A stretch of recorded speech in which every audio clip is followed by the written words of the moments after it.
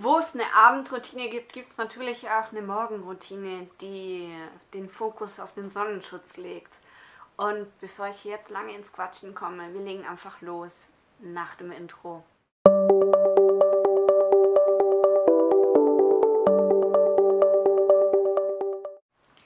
Hallo, ich bin Coco vom Kanal Die kleine Coco und wir sprechen hier ja auch über Skincare, über reizfreie Skincare, nach Möglichkeiten vegan, tierversuchsfrei. Ne? Also das muss schon auf jeden Fall sein, weil ich bin Veganerin, äh, ohne Mikroplastik und reizfrei ist ganz wichtig, das habe ich schon gesagt. Ähm, wir beziehen uns hier so auf gute Skincare, nicht auf irgendwas, weil wenn man äh, in den Drogeriemarkt geht, der steht voll von oben bis unten. Nein, wir beziehen uns auf die richtig guten Sachen, auf die tollen Inhaltsstoffe und lasst uns nicht lange schnacken und wir legen los mit der Reinigung. Und das ist ein Produkt, das habe ich vor kurzem vorgestellt, das kann ich dir gerne mal verlinken. Das ist ähm, der Peeling Cleanser von Balea, den finde ich sehr gut. Aber, großes Aber, äh, ich würde mir nicht nachkaufen, weil ich einfach, ich möchte weniger haben wieder. Im Herzen bin ich halt schon eine Minimalistin und äh, mich belastet zu viel und ich habe einfach zu viel und ich möchte halt auch ein paar Dinge aufbrauchen und da ist ein Öl, was ich aufbrauchen möchte, was für mich morgens und abends funktioniert. Aber das hier ist eine richtig gute Sache. Mir reicht Öl zum Reinigen, also mir reicht eine Sache, aber wer von der Haut her merkt, so Öl morgens geht gar nicht, weil die Haut dann einfach viel zu sehr nachfettet oder so. Ähm, weil es ist auch so, je nach Hauttyp funktioniert die Haut auch anders. Und ich höre das ganz oft, dass man Öl nicht richtig gut runterkriegt. Bei mir ist überhaupt kein Problem. Überhaupt nicht. Morgens wie abends kein Problem. Ähm, und für die Leute ist dann sowas natürlich nicht schlecht. Der ist nicht zu vergleichen mit dem von No.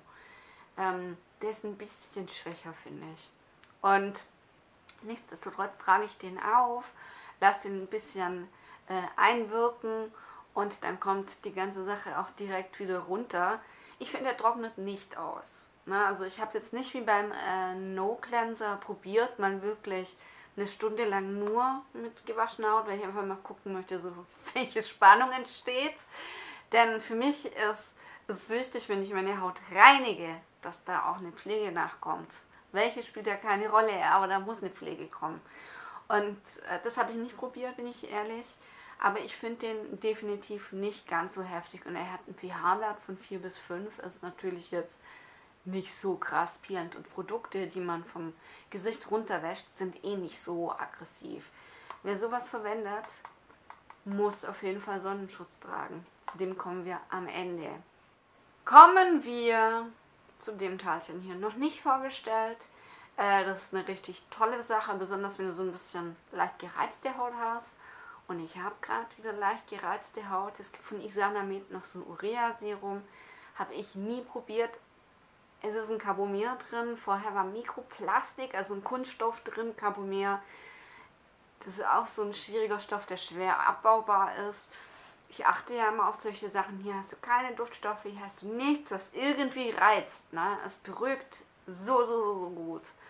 Und es beruhigt auch meine Haut.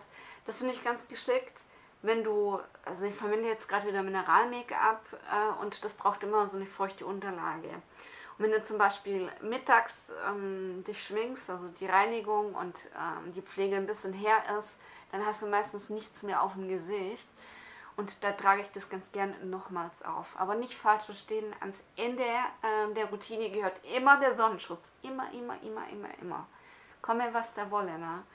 Und ähm, das ist ein super guter pflegender Zusatz, gerade wenn du so ein bisschen merkst, so, ah, meine Haut ist ein bisschen so, tickt so ein bisschen aus wegen Zyklus, Hormone und so weiter, weil das bei mir gerade im Moment auch wieder so, ähm, da ist es eine gute Sache und das verwende ich immer wieder gerne und ich kann mir echt vorstellen, das sogar wieder zu kaufen, weil es gibt für einen kleinen Preis.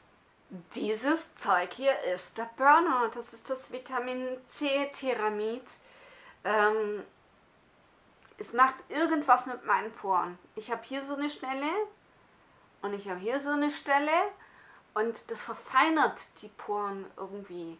Ich habe das schon ewig, dass ich so weiße, ähm, sieht aus wie ein Mitesser, ist aber weiß. Ne? Und kannst du halt aus, ausdrücken, Hautfett und so weiter. Und die werden dadurch weniger und kleiner vor allem. Das ist Wahnsinn. Da, hat, da haben zwei Hautärzte schon dran rumgemacht, dass sie mir dann Sälbchen verschrieben haben, was nicht so wirklich funktioniert hat. Und das Zeug hier ist einfach. Also ich verwende es noch nicht lang genug, um das wirklich äh, in den höchsten Tönen zu loben. Deswegen sage ich, es macht irgendwas mit meinen Poren. Muss noch rausfinden, was das mit meinen Poren macht. Keine Ahnung, aber es ist halt echt mega gut. Kostet halt auch 33 Euro, ne? Also das ist halt dann schon ein bisschen teurer. Aber wir kennen das ja beispielsweise von den Face Theory Sachen, die sind halt auch teurer. Ich bin ein großer Freund davon, wenn die Pflege nicht ganz so viel kostet und man sich vielleicht so ein Goodie einbaut in die Routine. Und das ist das sogenannte äh, Goodie. Ab und zu darf man sich ja mal was leisten. Das macht wirklich was. Also ich werde es äh, noch ähm, die nächsten Wochen über beobachten, um euch dann wirklich zu berichten, macht es was, macht es auch viel mit meiner Haut. Grob sagt man so vier Wochen, bis die Haut sich so direkt umgestellt hat. Also ich bin schon sehr hyped, muss man sagen, ne? aber wow, einfach nur wow. Weil so, so sowas habe ich noch nicht erlebt. Egal, was ich auf die Haut gemacht habe, diese, diese weißen Flecken, ne, also dieses, diese Poren gefüllt mit Hautfett sozusagen, das siehst du halt dann auch von außen. Die hat auch der Hautarzt immer gesehen. Ähm, die hat die wurden von nichts tangiert. Die habe ich auf der Nase, die habe ich, das sind wie Milien, sind aber keine Milien. Ähm, die habe ich hier in den Backen, die habe ich da, die habe ich da, also überall habe ich das. Und seit ich das hier nehme, lang nicht so schlimm. Lange nicht so schlimm, wirklich wahr. Und ich bin gespannt, wo es noch hinläuft damit. Die Creme will ich auf jeden Fall noch vorstellen, weil sie kann einfach falsch verstanden werden. Zum einen äh, ist wahnsinnig viel Niacinamid drin, was empfindliche Haut reizen kann. Ne? Also meine Haut verträgt recht viel, aber ich merke schon auch, wenn ich beispielsweise so rote Stellen im Gesicht habe, äh, so zum Teil sogar offene Stellen, dass mir das brennt. Ja, also da brennt mir aber auch das Niacinamid von, von Leon. Brennt mir auch. Da, das ist noch stärker konzentriert, was total unverständlich ist, weil Niacinamid muss nicht so stark sein. Hier sind aber 10% drin, damit machen sie auch noch Werbung. Dieses höher, besser, weiter ist nicht ganz so toll. Ne? Also gerade mit Actives in deiner Routine, denk nicht, ah, die Haut wird sich schon daran gewöhnen, sondern du musst diese Sachen einschleichen. Es geht nicht anders. Wenn deine Haut reagiert, wenn sie stark reagiert, dann musst du es einschleichen, vielleicht auch versuchen zu verdünnen. Äh, bei mir funktioniert das, bei mir funktioniert auch ähm, die ähm, Zusammensetzung von der Creme ganz gut. Also ich habe da nicht das Gefühl, irgendwie so wie so ein Spiegel auf der Haut zu haben oder so. Das funktioniert bei mir wie eine 1, die zieht auch wie eine 1 weg. Also da ist nichts auf der Haut im Nachhinein. Und ähm, warum packt man dann einen Lichtschutzfaktor 30 mit rein? Du kannst eine Gesichtscreme niemals so auftragen wie ein Sonnenschutz. Das geht gar nicht. Ich soll jetzt da 2 Gramm von auftragen, damit ich Lichtschutzfaktor 30 habe. Zumal ähm, ähm, UVA, UVB-Strahlung, ne, wir wissen das jetzt ins, äh, inzwischen schon ganz gut. Ein Lichtschutzfaktor in so einer Tagescreme kann vielleicht eine Unterstützung sein für den eigentlichen Sonnenschutz. Aber das ist nie ein Sonnenschutz. Ne? Also das nie als Sonnenschutz sehen. Und ich trage das halt so ein bisschen auf, weil ich Niacinamid als Stoff hat. Für mich funktioniert Niacinamid einfach wunderbar. Gerade gepaart mit Säuren, mit AHA. Funktioniert bei mir unwahrscheinlich gut. Und deswegen ist das hier auch so eine gute Kombi für mich. Ne? weil das tut halt meinen Poren ganz gut. Und die Creme funktioniert auch echt gut. Ne? Also da kann ich auch locker im Nachhinein dann das Wichtigste an der Routine am Morgen auftragen, nämlich den Sonnenschutz. Und zu dem kommen wir jetzt. Letztes Produkt, Sonnenschutz. Und liebes Visantin,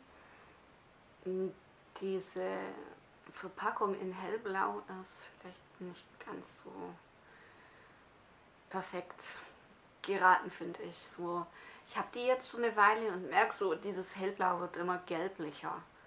Und schön sieht das natürlich nicht aus, absolut nicht. Also hellblau hat eh immer so ein bisschen so einen Charakter, dass so helle Farben äh, gelblich werden könnten. Ne? Und das wird gelblich.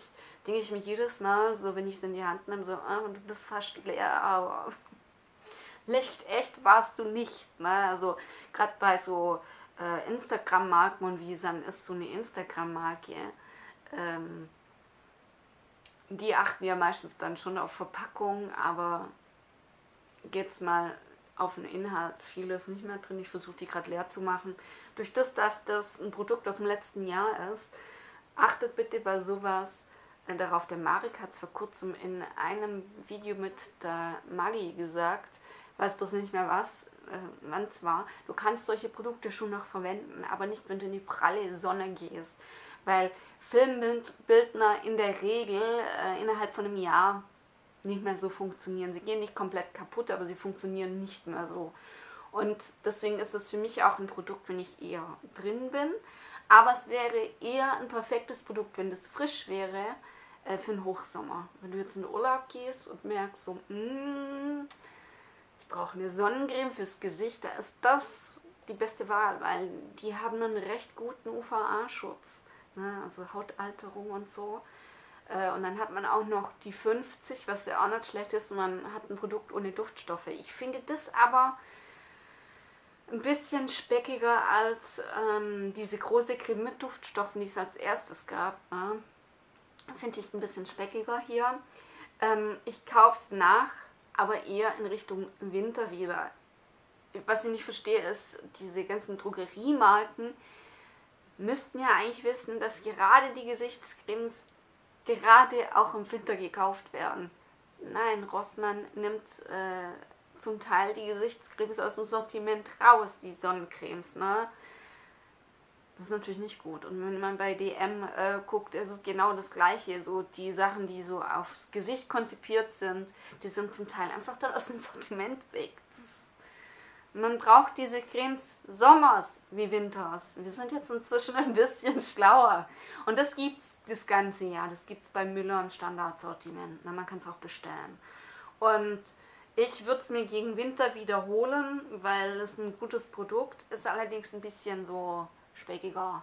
Es ist nicht wirklich speckig, aber es ist schon so, man hat schon so eine Schicht auf der Haut. Und wenn man damit Probleme hat, dann sollte man die Creme nicht verwenden, das auf keinen Fall. Aber ich finde sie sehr verträglich, ich finde sie sehr gut. Sie hat sehr gute, sehr gute Filter drin. Äh, und wie gesagt, wird von mir in Richtung äh, Winter wieder gekauft. Ähm, davon bitte genügend auftragen. Ich messe es auch nicht ab. Bei mir sind es ein bis drei Gramm zum Teil. Ich messe es nicht ab. Ne? Ich gehe nicht mit der Waage her, ich habe ein schlechtes Augenmaß, aber ich versuche schon relativ viel davon aufzutragen, dass es halt wirklich reicht.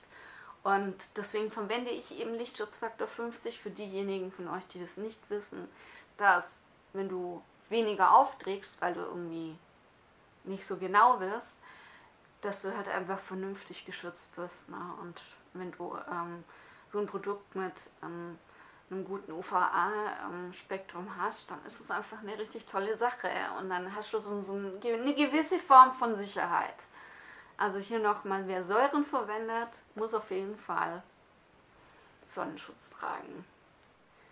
Du guckst mal unter dem i, da findest du meine Abendroutine, da findest du aber auch alle Produkte, die ich bis jetzt vorgestellt habe. Und das ist, glaube ich, in dem Fall nur das Waschgel wohl wahr. Es sind hauptsächlich neue Produkte. Ich nutze natürlich auch solche Routine-Videos, um eben auch mal Produkte zu zeigen, um auch Routinen zu zeigen, wie man das einsetzt. Da wäre ich auch hin und wieder ähm, gefragt. Es ist halt immer von flüssig zu fest. Na, und als letztes bei der Morgenroutine bitte den, der Sonnenschutz. Das muss als allerletztes sein. In diesem Sinne melde ich mich mal wieder ab, bedanke mich bei dir fürs Einschalten, gib diesem Video gerne einen Daumen nach oben, unterstütze es und wir sehen uns in den Kommentaren wieder. Ich sage danke fürs Einschalten. Bis zum nächsten Mal. Tschüss.